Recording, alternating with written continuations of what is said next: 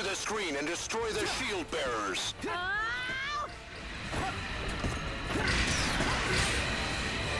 Fencer team here. We're in combat. Requesting backup.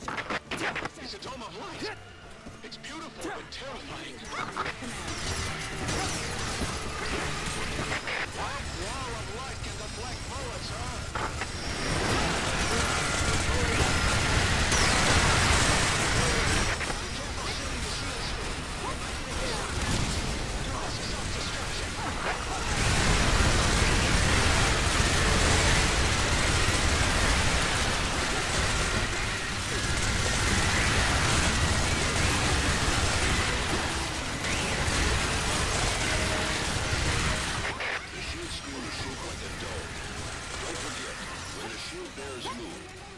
Screen moves with them.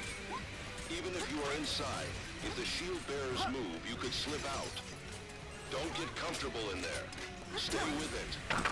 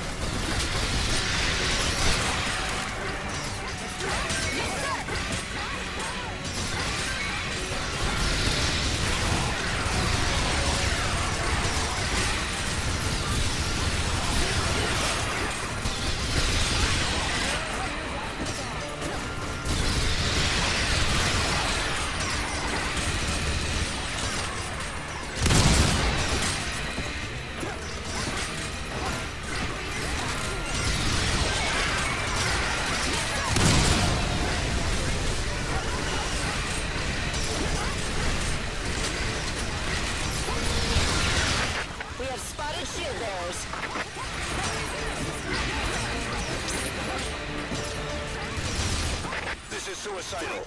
But we have to move inside the shield screen.